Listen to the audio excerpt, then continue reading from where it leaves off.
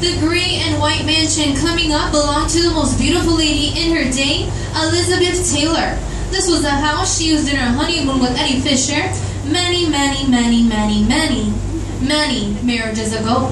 She had eight marriages and seven husbands. La casa color gris y blanca le perteneció la hermosa actriz Elizabeth Taylor.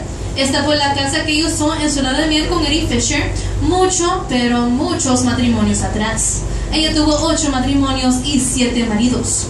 You're going to see a pyramid with a rabbit jumping into the air. It was dedicated to Elizabeth and her infamous hobby of jumping from husband to husband.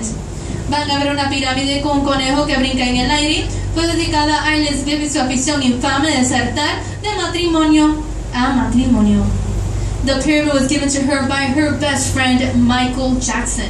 El pirámide fue regalado a ella por su mejor amigo Michael Jackson.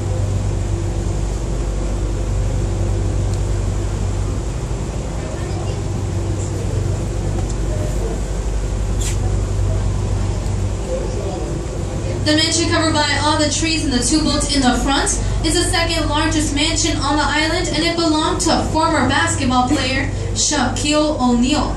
In June 2009, he sold it for $16 million to Russian billionaire Vladislav Doronin.